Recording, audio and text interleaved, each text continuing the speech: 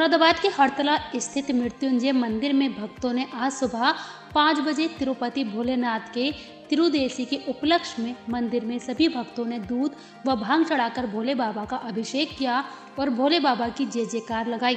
महंत राम सिंह ने बताया कि आज के दिन जो भक्त सच्चे मन से बाबा का दूध से अभिषेक करता है, उसकी सभी मनोकामना पूरी होती है। ये दिन महीने में एक बार आता है। इस दिन सभी भक्त दूर दूर से दूध और भाँग लाकर शिव जी पर चढ़ाकर भोले बाबा की जय जयकार लगाते हैं। महंत जी ने बताया कि मैं सभी भक्तों से यह प्रार्थना करता हूँ कि भविष्य में बाबा की पूजा अर्चना कर लाभ उठाएँ।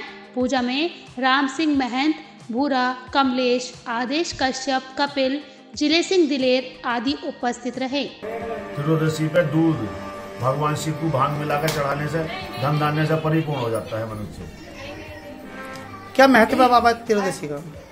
त्रियोदशी और कृष्ण पक्ष की जो तिर- त्रियोदशी आती है इसमें भगवान शिव सबसे ज़्यादा प्रसन्न होते हैं दूध में भाँग मिला के चढ़ाने से क्या संदेश देंगे आप अपने भक्तों के लिए? जो भी भक्त त्रियोदशी के दिन भाँग में दूध मिला के चढ़ाएगा उसे भगवान शिव बिल्कुल सब कुछ ठीक कर देंगे। ये कौन सा मंदिर है बाबा? मृत्युंजय महादेव मंदिर।